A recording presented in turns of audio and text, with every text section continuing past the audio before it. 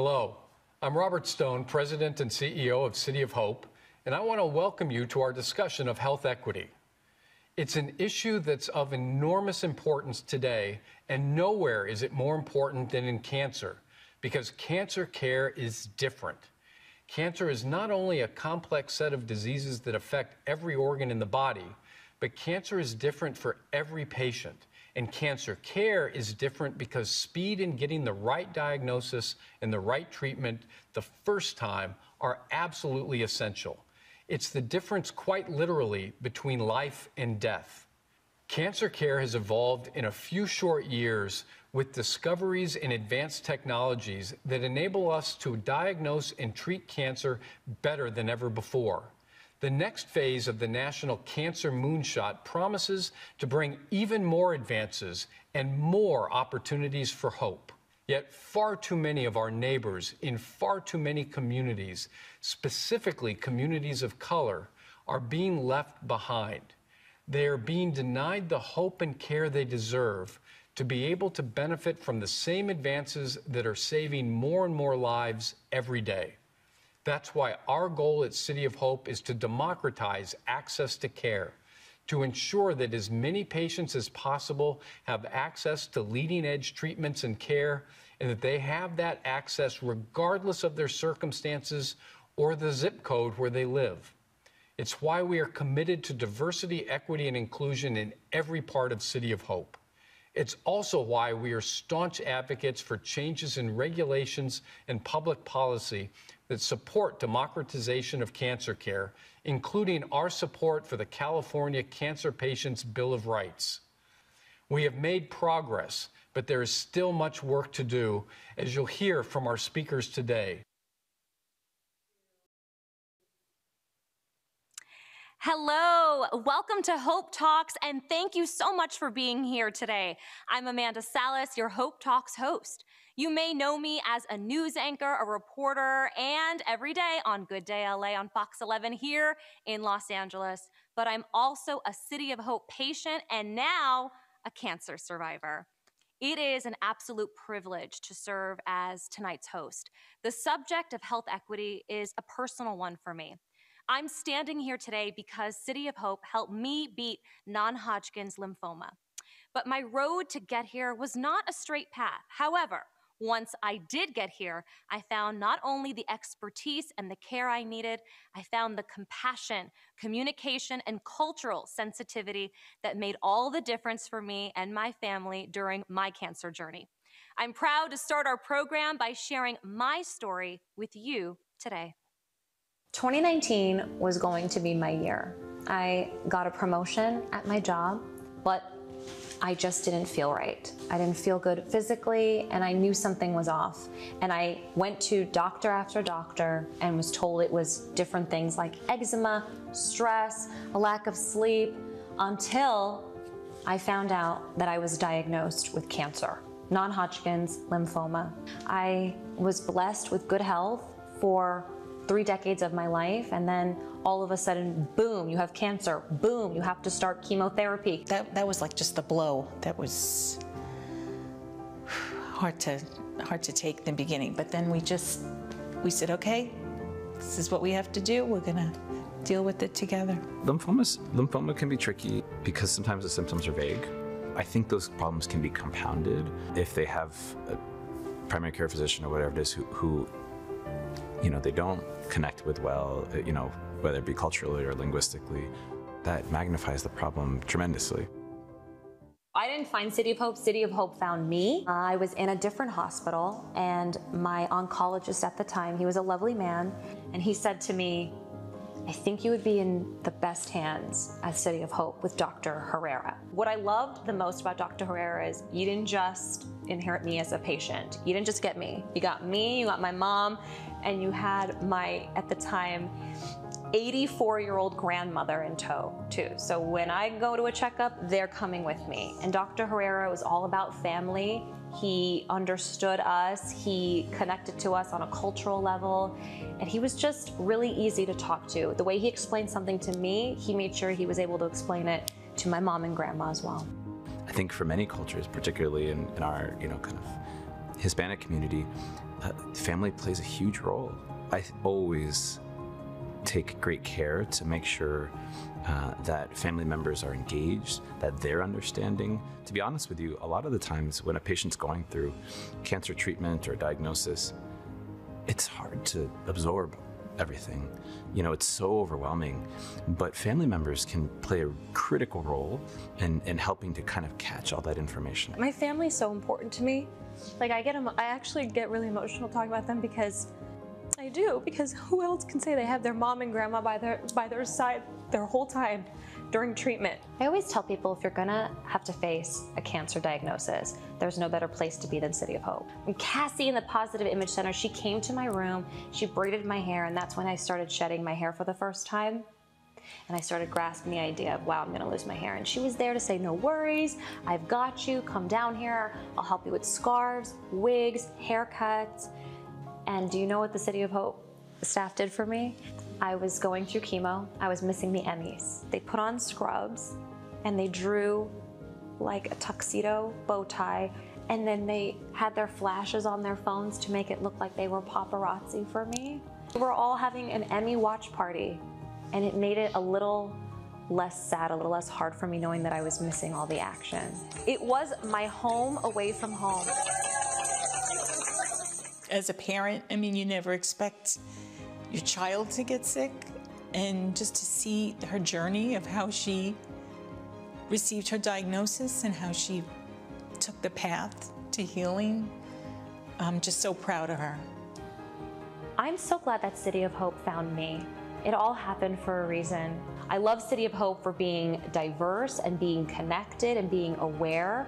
And I went from check-in to labs to going to the doctor. You've seen such a sea of diverse faces from all ages, all backgrounds, gender, everything. Representation matters. As a Hispanic physician, I take it really, you know, as an as a as a real privilege to be able to serve patients in our community, um, you know, from underserved backgrounds who, you know, might not have always had access to excellent, you know, world class care like we can provide at City of Hope. I felt in the best hands at City of Hope, and I felt part of a City of Hope club that I never knew I would have a membership to, and I wouldn't have it any other way.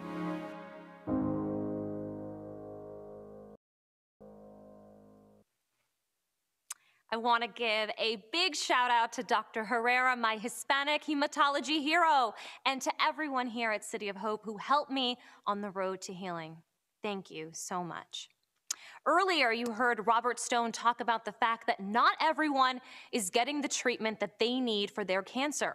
Although we all might agree that your cancer outcomes shouldn't be determined by your race, your gender, your zip code, or socioeconomic status, these are real factors that can make it harder for patients to access the specialty cancer care that can save their life. Health disparities are a major issue in America, and tonight's program will explore why there is such urgency in addressing health equity. We can make a difference in patients' lives and make real progress against cancer. You'll hear from City of Hope's top scientists and experts on why health equity in everything from clinical trials and patient care to our healthcare workforce matters to all of us. Throughout the program, you'll actually have an opportunity to ask questions of our experts during three Q&A sessions. You can submit your questions in the chat. First, here's Dr. Kimlin Ashing, an early champion for health equities who has made it a, prior, a, primary focus of her work to improve health outcomes for diverse populations. Health equity is in our DNA because our origin story is really about serving the underserved and the medically vulnerable in our communities. Cancer disparities are serious. Uh, we know that ethnic minority populations um, have poorer treatment response in some cases, um, have earlier mortality and morbidity due to cancer. And we want to change all of that. When cancer impacts a community at a younger age, um, we have societal burdens. That's, that's not just for that person or family or community, but it really affects all of us. If we have lost a life too early, it means that that person cannot be a productive part of society. So when I think about the future I envision um, where any patient, regardless of their social standing, regardless of their insurance coverage, regardless of their neighborhood, regardless of the color of their skin, regardless of their religion, their gender, their sexual orientation, and gender identity, that they would have care that is honoring their humanity and, and care that is responsive to their cancer so they're getting the best scientific based medicine, but they're getting the best quality care to advance their length of life, but also their quality of life and well being. And City of Hope is the right place to lead in the science of health disparities and the practice of health equity. We need to do this now. We need to leverage our priorities and our resources to do this because this is the future of medicine.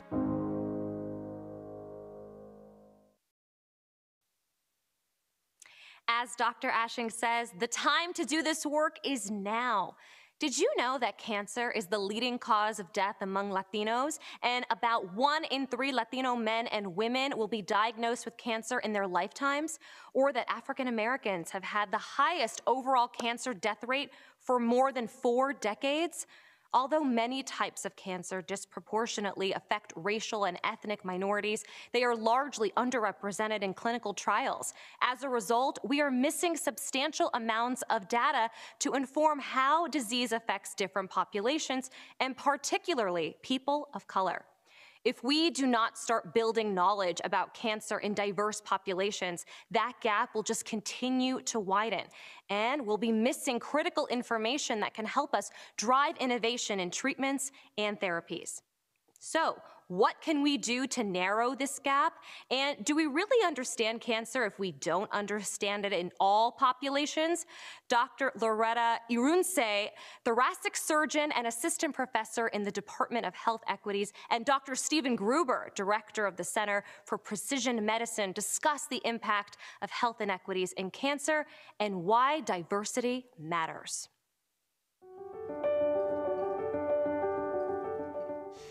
Precision medicine is a way to describe how we use genetic and genomic information to inform patient care. And really, in many respects, it's just using the information that's uniquely contained within each tumor, and in fact, in all the cells of our body, to be able to better understand how to harness that information to direct the right drug to the right patient at the right time. You know, precision medicine has made a huge impact on the field of lung cancer. Um, when I started training many years ago, um, the truth is, patients who had more advanced disease, especially stage four, there were very few options that we could give them. And now we have many patients who are living for several years um, because we have a better understanding, as you've mentioned, around the genomics of their tumor. And now we have precise and more targeted therapies that allow us to, to be more precise in our treatment of patients. we need to be really attentive to those differences that can help us take better care of patients and populations. Specifically, what we found with respect to women with breast cancer is that by understanding a particular genetic signature, one that relates to inherited susceptibility to cancer, it has more than just implications for how did that cancer arise within someone and how can we prevent it in family members, it also has a huge impact on how we now treat those patients with breast cancer. And specifically, if there were ways in which we could improve access, especially for our African American breast cancer patients, it could make a huge difference in outcomes. That is the reason why it's so important that we get these opportunities to every patient, right? And, and that's one of the goals at City of Hope is that we are able to get to every demographic, every community, um, because right now that isn't the case, and that has to change. And, and I'm excited that we are trying to lead the efforts here at this institution.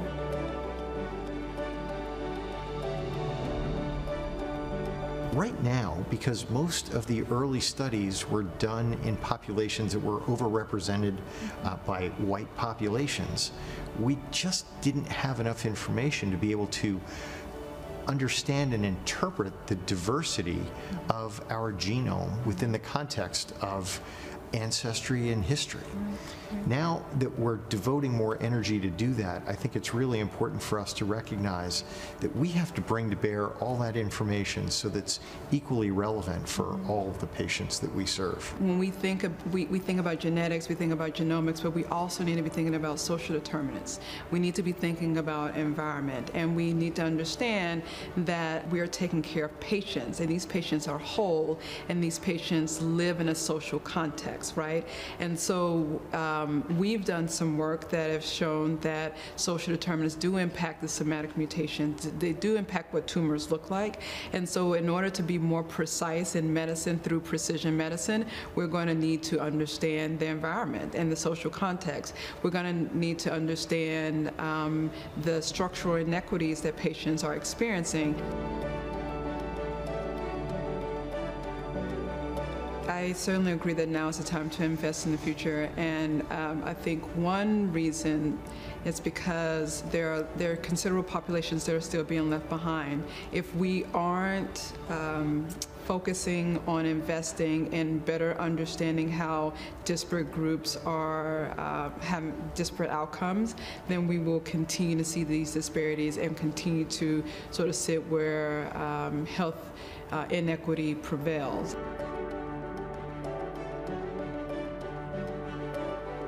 I think City of Hope is the right place for this work to be happening because we have experts and energy around genomics and genetics and biology and precision medicine.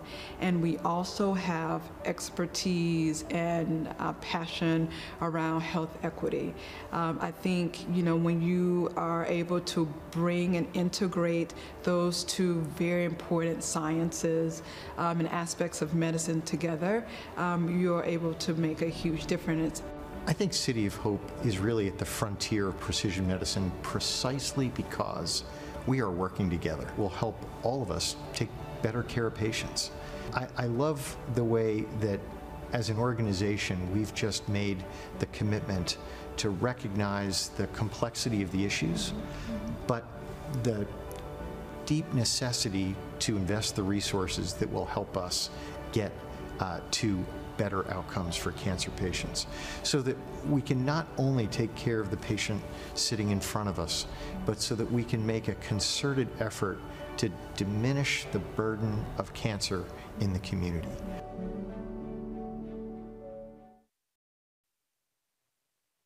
I'm joined now by Dr. Gruber, who's ready to take some questions from our audience. Dr. Gruber, it is so great to have you with us today. Thanks, Amanda. Great to be here. So let's get to our first question from the audience. Again, please use the chat to submit your questions, and we'll start with a few that we've already received. First question, Dr. Gruber. City of Hope is expanding in Southern California and recently acquired Cancer Treatment Centers of America.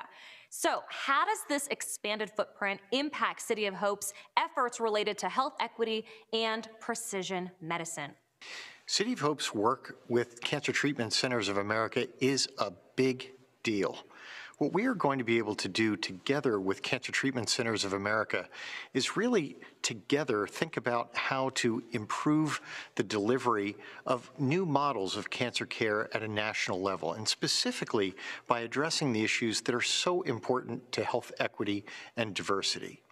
Think for a moment about the fact that City of Hope is one of the most prominent NCI designated comprehensive cancer centers in the United States with a rich portfolio of clinical trials that advances care at the highest levels. And to be able to deliver that at a national model with one of the most trusted care providers at a national level with CTCA, I think is really a transformational opportunity.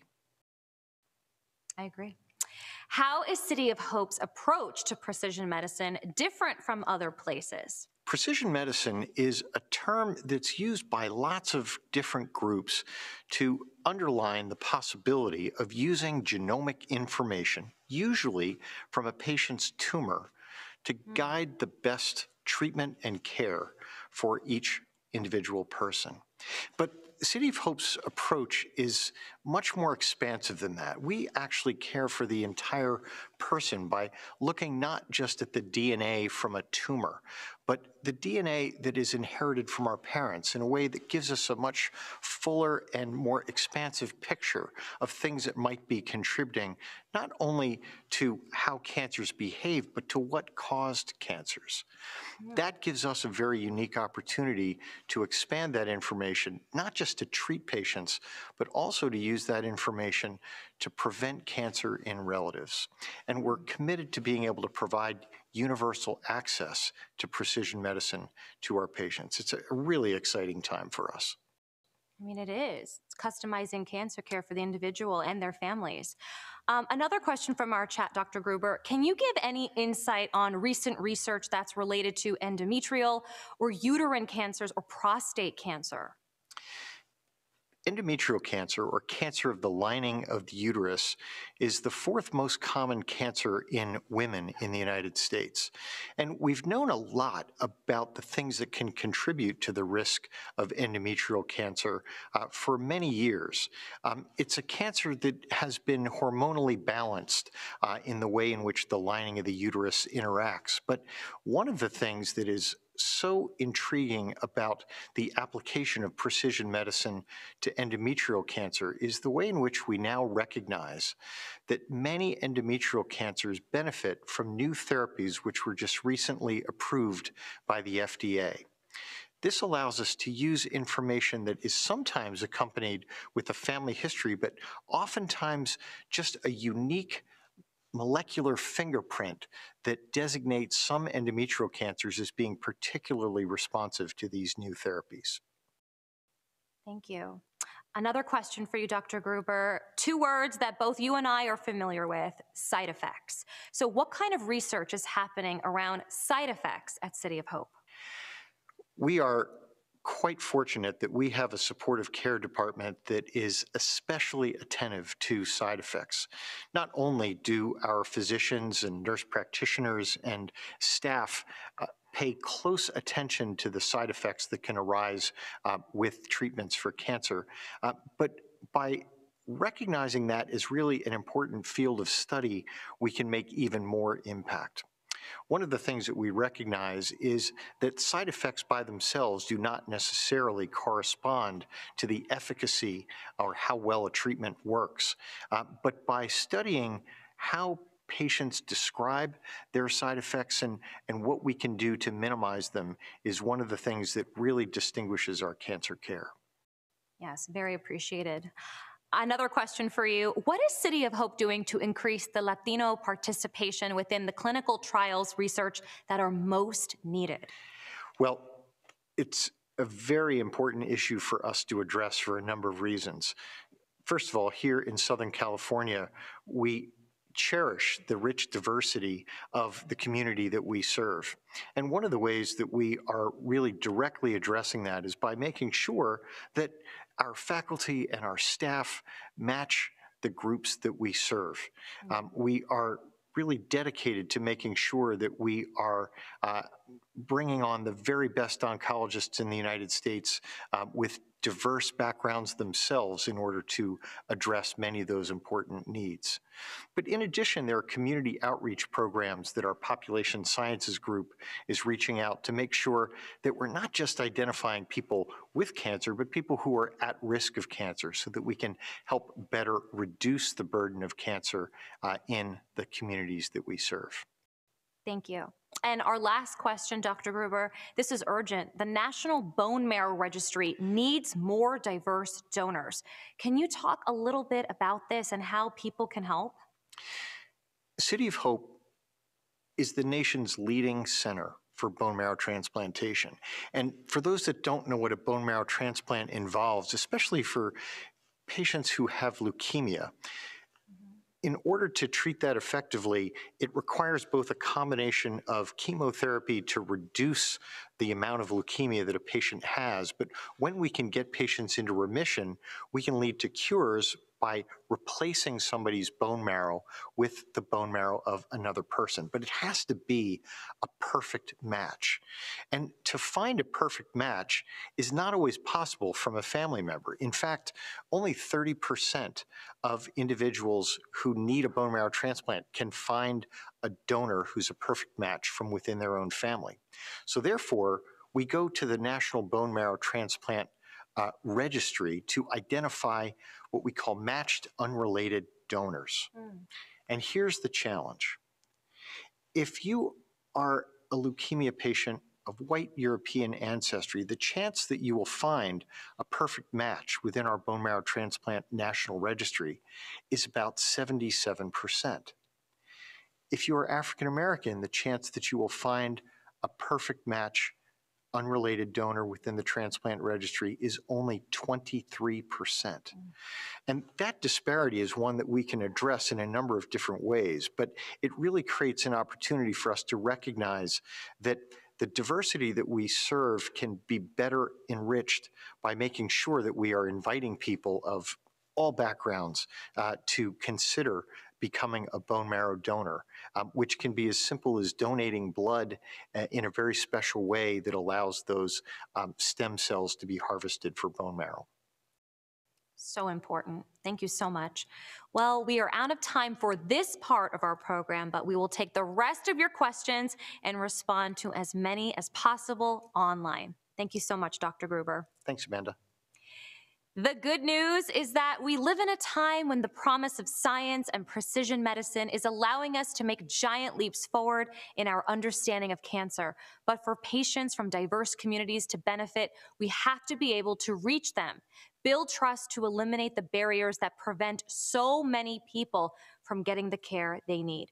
We invited Myra Serrano from City of Hope's Community Alliance for Research and Education and Bethany Davis, a postdoctoral research associate at City of Hope's Translational Genomics Research Institute, who works with Indigenous communities to talk about overcoming barriers to care and building trust in diverse communities.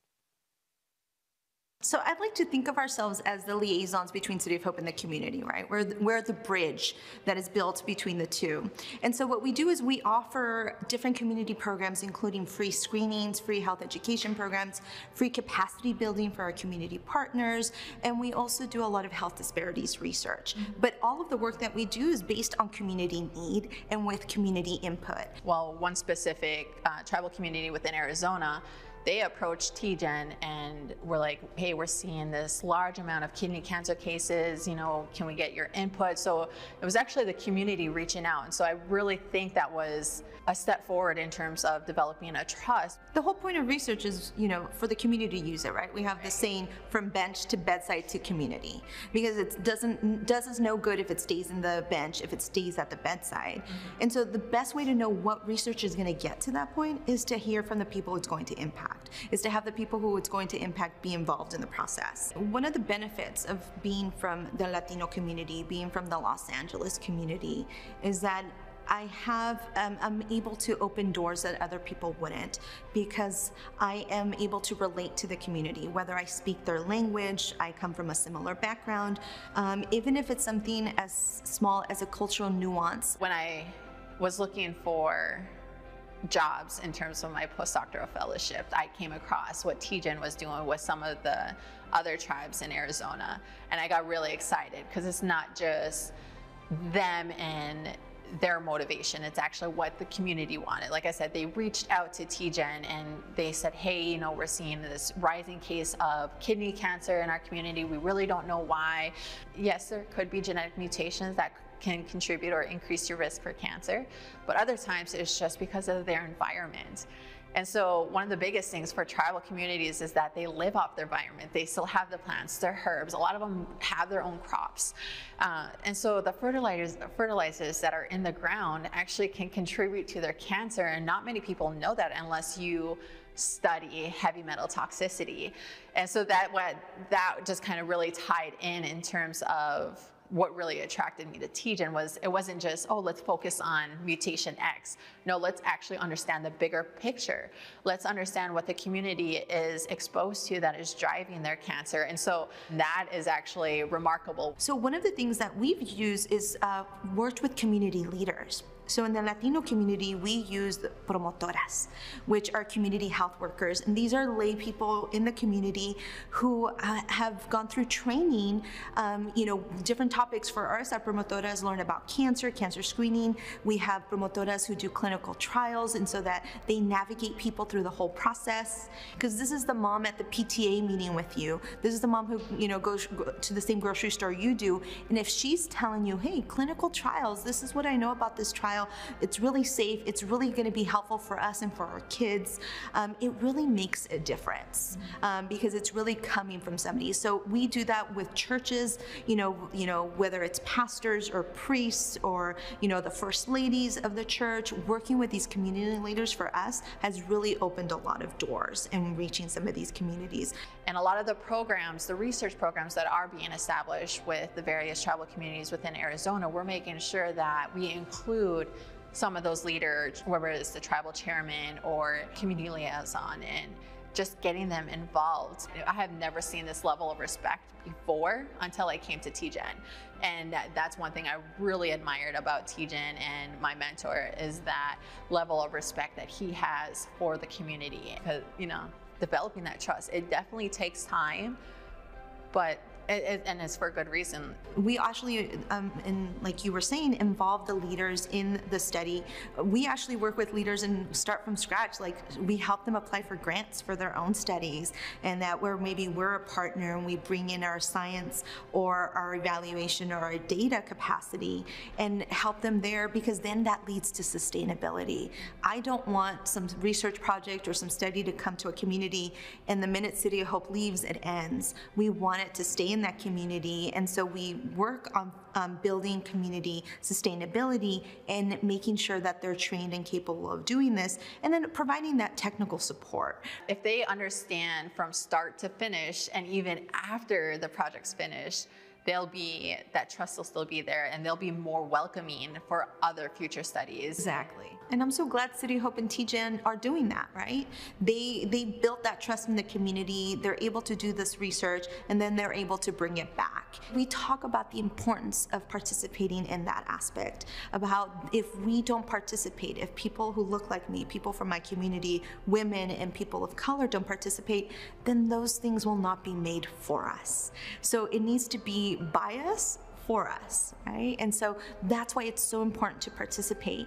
I focus on the collectivistic culture of the Latino community. I'm not doing it for myself. I'm doing it for my family. I'm doing it for our community, um, you know, para nuestra comunidad, which means for our community.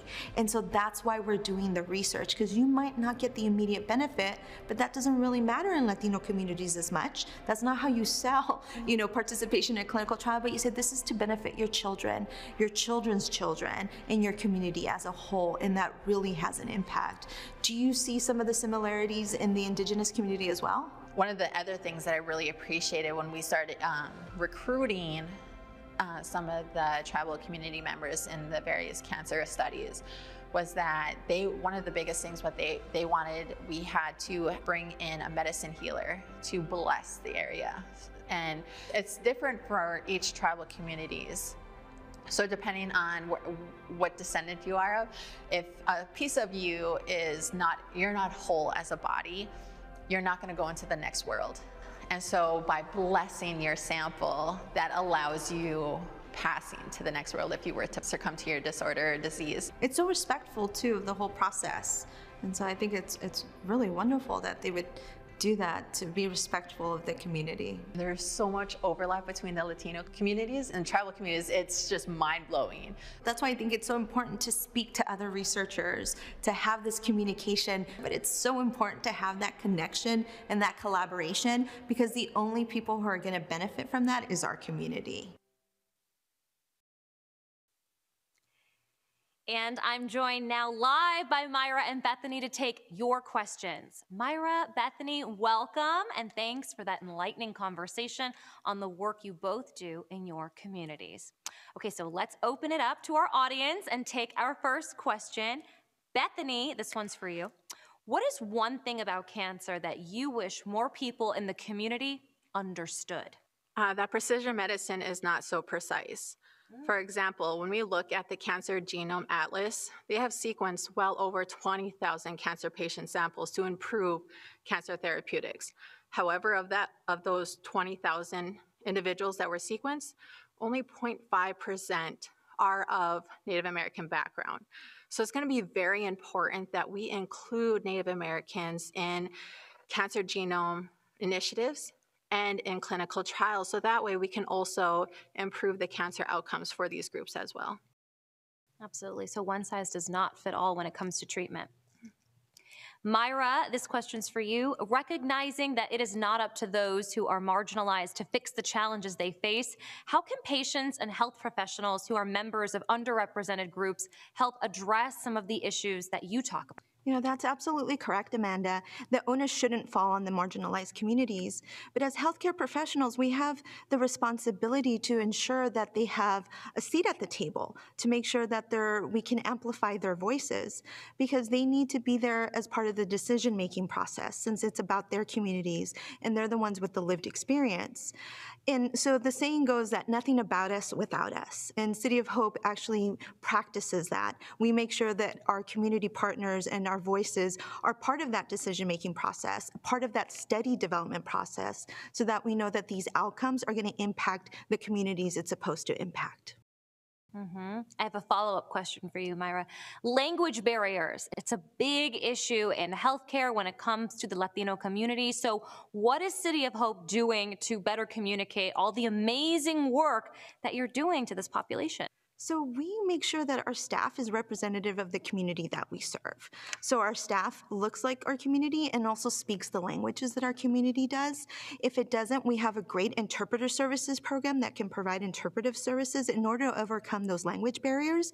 But we go above and beyond that. In addition to, we create health education materials that are in language and, you know, are representative of that community. And we make those health education materials with the community that it's intended for. So it's this this co-design process and this user-centered design process so that we know it'll be effective and it's going to reach the population it's supposed to reach.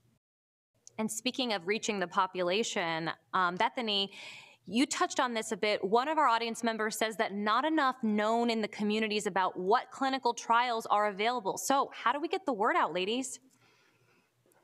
Um, so the first thing is just you know go to the communities, the pop, the communities, and just let them know that we are there. This is what is available. We don't want to make sure we don't want to push it upon them. We don't. We need to make sure it's what the community needs and what the community wants for them to be advocates, um, and not only that, but to be involved in clinical trials. Myra, how do we get the word out? Well, I'll add to that. So, City of Hope has wonderful community research navigator programs where we take champions in the community who are trusted sources to spread the awareness and information about the importance of clinical trials and the importance of representation of underrepresented groups in clinical trials. And we closely work with these community health workers, promotoras, faith based leaders, and we train them on clinical trials and the entire process. And then they go out and bring that awareness into the community. And then additionally, we also train our staff internally on how to engage communities of color as well, so that they practice cultural humility and that, you know, it makes the study also more um, responsive to the needs of our community. Well said. Uh, last question. Bethany, addressing health equity is clearly a challenging and complex issue. What keeps you going every day? What gives you the most hope? The opportunity to bring change especially when it comes to cancer research. Uh, there's not many of my background in my research, being a, fellow Native American. Um, not many have, you know, went on to get degrees, especially those in research. So mm-hmm. being able to want to make a change and find a, finding opportunities to do that, that is what keeps me um, motivated. Love that. And Myra, what gives you the most hope? I think the most hope is I have a cancer history in my family, and I know what it's like firsthand, uh, witnessing it, and making sure that nobody else has to go through that trouble. Nobody else has to overcome the barriers my family has had to overcome, including language and access to care, um, is really what drives and motivates me. And just like Bethany said, um, not seeing too many people who look like me, being Latina, and not seeing too many researchers at that level who look like me, um, I really like I'm passionate about providing, um, being a role model for younger Latinos so that they know it's possible because when you can see it, you can be it. I love that. Representation truly does matter, and family is everything. Thank you so much, Myra and Bethany, for joining us today. Thank you, Amanda.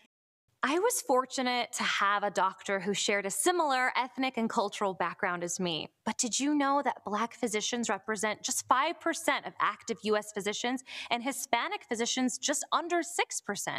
A lack of diversity among physicians in the workforce adds to the disparities in treatment, often creating mistrust and poor communication between patients and care providers. Increasing diversity and improving cultural awareness and sensitivity among all clinicians are key to establishing that trust and bringing more patients into care. There are many leaders at City of Hope who bring interesting perspectives to the workforce diversity imperative. First up, we'll hear from Dr. Rick Kittles, who leads the Division of Health Equities at City of Hope, as well as some of his extraordinary colleagues who are working to increase diversity in the biomedical workforce. We'll follow that with a conversation and Q&A with my friend Angela Talton, City of Hope's Chief Diversity, Equity, and Inclusion Officer. Here is Dr. Kittles and his team. For some communities, they don't necessarily see themselves in some of these institutions. They don't have advocates in their own community saying this is important. The reason that is is because there's not a lot of underrepresented minorities in biomedical research. And so what we're working on now is developing a pipeline to increase diversity in the biomedical workforce. What we do is we focus on genetic and biological determinants of prostate cancer health disparities. Since we're here at City of Hope, we're starting to expand our horizon to see how we can collaborate on looking at other genetic determinants or other potential drug targets that may be specific in people of color. We're looking at not just genetics, but we're also looking at behavioral differences such as vitamin D supplementation and how vitamin D has anti-cancer benefits. People that I work with, their skills are not just going to be honed in the laboratory, but also out in the community. It makes you a much more well-rounded scientist when you're able to answer questions at the bench, but then also get folks in the community excited about what you're doing to the point where they want to be involved. City of Hope is interested in what is best for their employees as well as what's best for patients. You can see the diversity increasing. You see it in terms of who's employed here, who our patients are looking like, that's what having a very diverse institution brings. Individuals who come together trying to answer some very important questions in different ways ultimately is going to lead to a lot of success.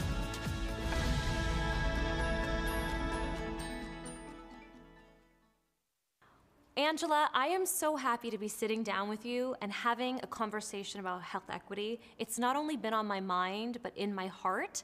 And this is just really exciting to get to know more about this issue with you. Well, Amanda, it is so wonderful to be here with you with one of our patients from, from City of Hope. So thank you so much. So I'm really very excited to learn more about it, knowing that it's a scientific imperative to address health equity. And also, we've got to do the work to help underrepresented communities when it comes to healthcare. I know City of Hope is doing this every day, and your role is very important. Tell me about your mission for health equity. You know, it is incredibly important to make this bridge between the City of Hope mission and our overarching focus around diversity, equity, and inclusion, to have that level of engagement with our patients from both the staff, mm-hmm. right, the entire care team, but also everyone here at City of Hope who supports that. It's important at City of Hope that we build trust, that we share, that we have a genomic focus at the DNA level around these underrepresented communities, and we're sharing that information. We're sharing that research. We are going out to the communities to uh, provide preventative care, to provide more education around screening. That's what is needed to build that bridge to take down these barriers around health inequities and Mm. to just share what we know and um, make sure that the communities learn to trust us. Very important. And like you said, trust is the core of it, and it starts from the top down. And diversity plays a huge role, not only amongst patients, but the care team as well. So I want to ask you do you think it's not only important, but essential to hire health professionals of color? It is so important. Um, a recent study, I think it was USA Today, showed that 40% of patients of color are more apt to follow the treatment that they are given, the, the Mhm. treatment plan, when it's shared by a doctor of that same community. Wow. 40%. 40%. So, That's so major. you think about representing the communities that we want to make sure that when our patients come in, their caregivers, their family, they're seeing that representation. Um, I, I recently heard that 21%, I think is the number, that medical school enrollment by African American and Hispanic Latinx students is up 21%. Now, driven by COVID, right, Yeah. and seeing the disparity within their communities, but Yeah. it, the, at the end of the day, that's wonderful news. And Yes. we're wanting to see those students, you know, come to City of Hope, and, and we have several initiatives um, outlined in order to attract them to our organization. That's the key right there. It's not just lip service. You're opening up the doors for those who want to, to walk in from internships to programs, getting the word out. Our conversation that we're having today, I can speak as a patient. My doctor was Latino and we had that special connection. He also was able to communicate a lot of things to me on a cultural level that I will always cherish. The work around diversity, equity, and inclusion is really about that connection on a personal basis. Mhm. Sharing the fact that, um, and particularly with communities of color, Mhm. that family unit is really important.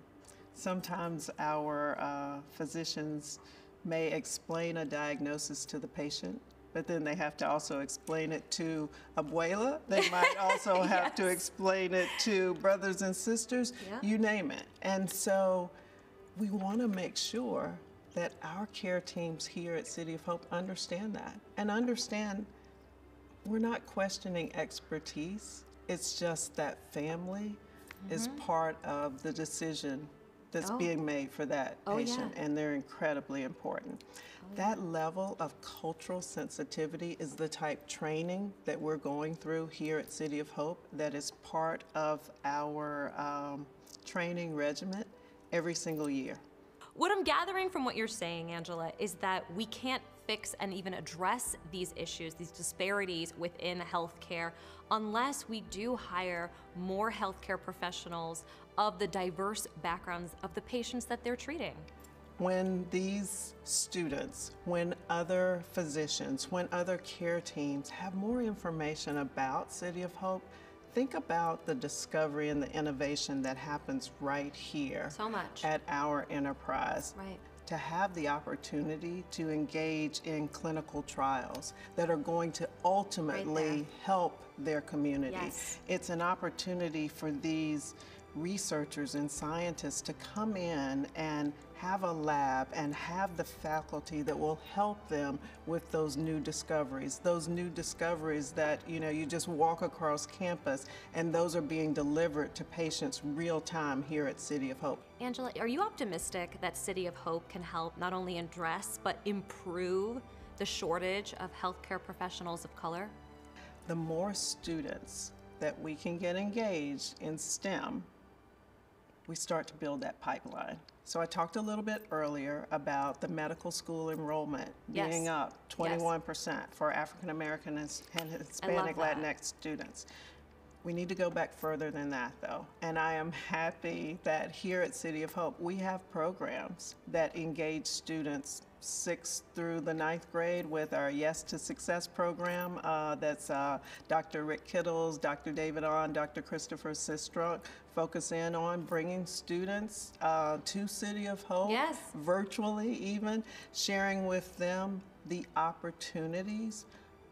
What roles could you find a career in as it relates to STEM education. And um, they have been doing that for, for years here at City of Hope. The more we can do that, the more students see people who look like themselves right. in these roles, mm-hmm.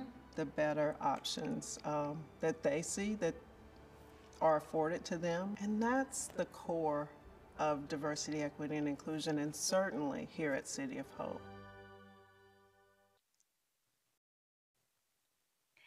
Angela is joining us live now to take your questions. I just have to say, Angela, I really enjoyed our conversation. I and too. I know we're like new besties. Yes. And we really appreciate having you to field some questions from our audience. So we'll start with this one.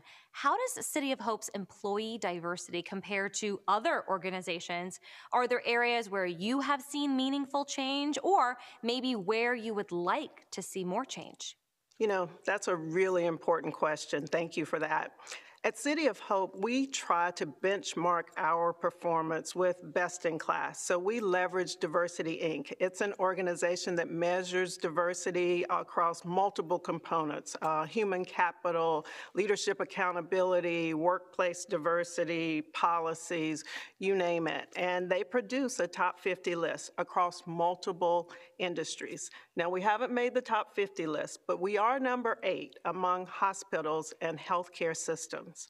We're not resting on our laurels, though. Um, like most organizations, we seek to increase the representation of Black African Americans and Hispanic Latinx um, physicians and researchers, and we have produced an amazing program to do just that. We call it our Interdisciplinary Cluster Hire Program. We're seeking to hire six tenure track faculty, uh, clinicians and researchers who will join City of Hope under a dual appointment. So maybe that primary appointment is hematology. That um, secondary appointment will be in our population science division of health equities. And during that time, it's an incredible opportunity to engage with the community, to help with um, prevention, early detection, to um, provide outreach and mentorship to our postdocs or our grad students. Um, we're also hiring this as a cohort cohort model. Thereby, we've seen research that says it enhances socialization, it improves retention, and it removes that sort of feeling of isolation. So we're really looking forward to programs like this, something that was developed with our employees and our health equity work stream of our governance council, and um, just other programs to enhance our diversity. And you know, Angela, there was a recent New York Times article that indicated that women are also more likely to have their symptoms dismissed by medical providers. How does City of Hope mitigate this issue? Yeah, that um, that medical gaslighting, it's it's alarming and so sad to see um, mm-hmm. happening to so many women across the country. You know, you know, Amanda, I really appreciate you sharing your story. At the end of the day, at City of Hope, we are seeking to provide compassionate care, but to the entire population of our patients. Uh, we're actually looking to increase and democratize cancer care. You heard Robert Stone mention that. Mm-hmm. Um, making cancer care available to anyone, regardless of your zip code. You should have access to the best medicines, to the most renowned scientists. That, that bench to bedside is so incredibly important with cancer care. And um, we actually have partnered with the California State Legislature. They passed a bill, a Cancer Patient Bill of Rights, on uh, August 19th in uh, 2021. And this Bill of Rights is uh, necessary for eliminating some of the barriers, right? Some of the barriers that are out there that are not providing that level of cancer care that's necessary for early detection and the precision cancer treatment that Dr. Gruber spoke about. And as we know, early detection is key. It's key. I'd also like to know what sorts of grants or training pipelines does City of Hope provide for prospective students, researchers from underrepresented backgrounds? You know, we talked a little bit about it in our piece, how important it is to sort of reach back and instill in students that interest in STEM, science, technology, engineering, and medicine. And, and we also talked a little bit about how important it is for students to see that dream, to see the physicians, to see the research. And so our um, Yes to Success, one of our summer programs, it really provides opportunities for students grades 6 to 12 to engage in biomedical research, to be in the lab with some of our um, principal investigators to, to really see opportunities from a career pathing perspective and understand some of their, their uh, opportunities from a professional development perspective. So we're really looking forward to bringing more of those type opportunities uh, so that students will see themselves actually at City of Hope working as physicians and scientists one day. That makes me smile. They're our future. And Yes. I can't wait to see them here. Thank you so much, Angela. It was so nice speaking with you again. Thank you.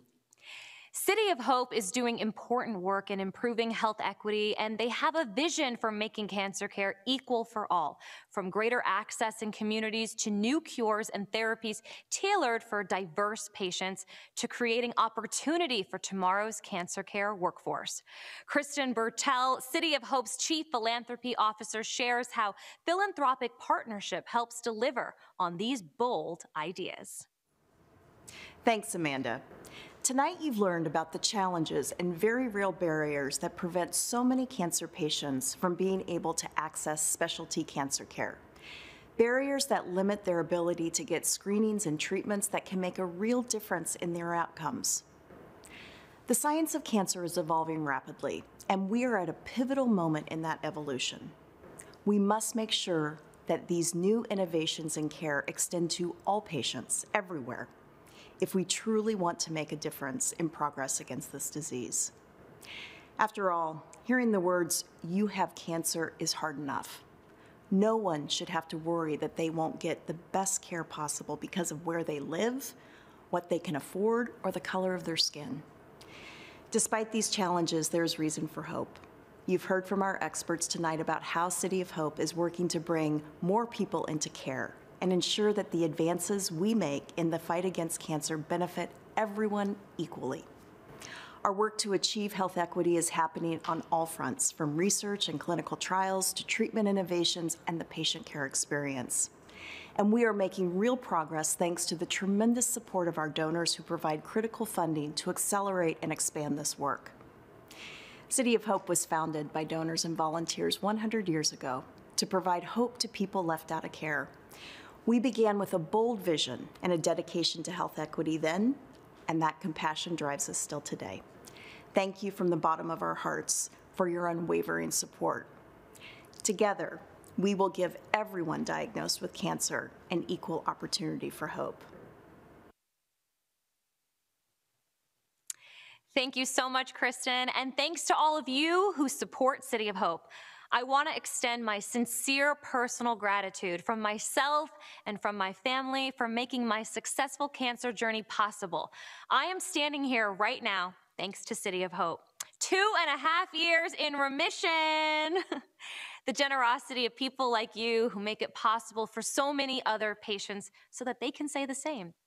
A big thank you to all of our special guests for breaking down some of the big issues in health equity and specialty cancer care, and for sharing all that City of Hope is doing to create a future where everyone has access to the cancer care they deserve.